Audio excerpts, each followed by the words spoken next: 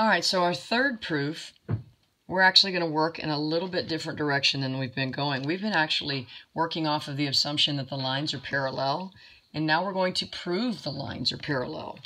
So let's start off with our statements and reasons.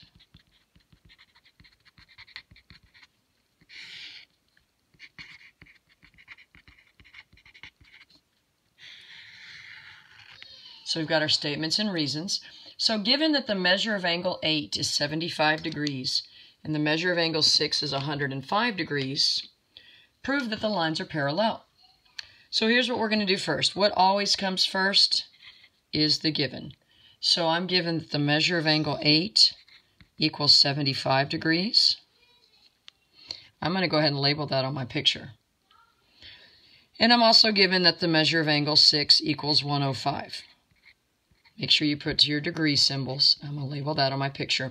Some people, and that's because of given, that's the reason is given. Some people choose to put givens in different places. I prefer that actually sometimes.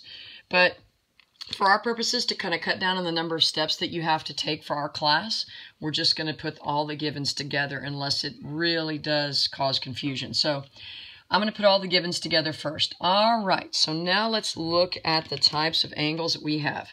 So I'm looking at, I'm trying to prove A and B are parallel. Now, in order to do that, I have to prove that one of our special angle pairs, whether it be alternate interior angles, alternate exterior angles, or corresponding, are congruent, or I have to prove that same side interior or same side exterior are supplementary, adding to 180. Well, if you look at the picture here, the really the only special type of angle pair created by a transversal that I have, besides the linear pair here, is the corresponding angles. So my only option is really going to be to prove that the corresponding angles are the same. If I can show and demonstrate that the corresponding angles are the same and they're congruent, that would be enough for me to conclude that A is parallel to B. So how do we do that? Well, first of all, we can tie 8 to 5 together, and then we can tie uh, we can tie 8 to 5 together, and then we'll tie 5 to 6. So let's do 8 and 5 first. Okay, what do you know about 8 and 5? 8 and 5 form a linear pair.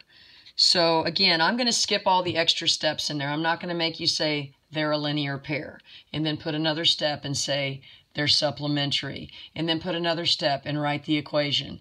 We're just going to jump right to the equation, okay? So, the measure of angle 8 plus the measure of angle 5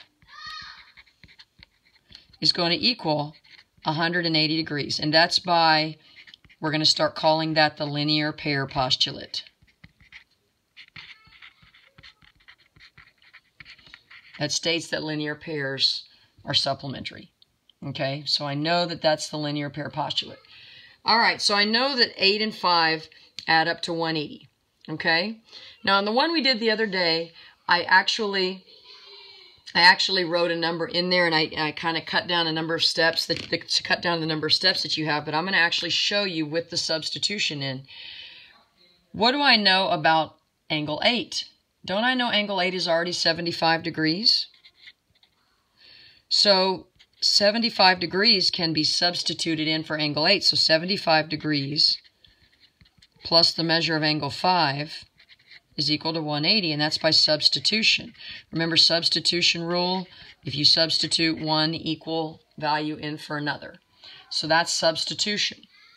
So I've taken the 75 degrees and substituted it in for the 8. In the in the in class the other day I went ahead and wrote the 75 in there, but I want you to actually use the substitution to get some practice with it.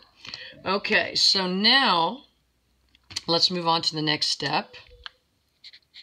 Step 4. Okay. I know that I'm trying to establish that 5 and 6 are the same, correct? So I've created a situation here where I can solve for 5. How do I get the measure of angle 5 all by itself? I'm going to use the subtraction property because I'm going to subtract from both sides, just like algebra. I'm going to subtract 75, subtract 75. And I'm going to be left with, and we'll put the number 4 down here, the measure of angle 5 equals 105 degrees. And that's by the subtraction property. I subtracted the same value from each side. That's one of our algebra properties that we talked about at the very beginning, okay? All right. So now, okay, so now I'm in a situation where I can make another statement here. And my next statement is going to be, I know that the measure of angle 8 is 75. I'm sorry, I know that the measure of angle 6 is 105 and the measure of angle 5 is 105. So then, therefore, by transitive property, if 6 is equal to 105 and 105 is equal to measure of angle 5, I can say that the measure of angle 6 is equal to the measure of angle 5 by the transitive property. That's the transitive property, okay? Again, I know that those two are equal because it already says, we've established from the given that 6 is 105, and now we've established that 5 is 105, so they're equal. Okay? So where do we go from here? Well, now, when you know two values are equal, we know that angle 6, that means angle 6 is congruent to angle 5, and that's just the definition of congruence. Again, there's any number of ways to do this. It depends on who you talk to, who's teaching it. They're going to give you a bunch of different ways. Okay, so after all that, what we've done again is we've used the given we established up here that 8 and 5 were a linear pair. Once we established that 8 and 5 were a linear pair, we established down here by subtraction that 5 is also equal to 105, which then tied angle 6 and angle 5 together because now they're equal. And if they're equal measure, it means they're congruent. So now we're ready to finish our proof. We have just proven that the two corresponding angles are congruent to each other, this one and this one. So, knowing that those two are congruent, I can actually say that A, I know now that A is parallel to B. Why do I know that? The converse of the corresponding angle postulate.